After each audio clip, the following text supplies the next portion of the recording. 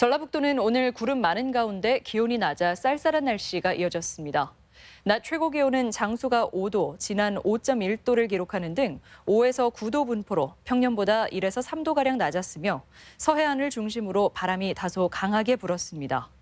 기상청은 내일 아침 기온이 영하 1도에서 3도 분포로 춥겠다며 건강 관리에 유의할 것을 당부했습니다.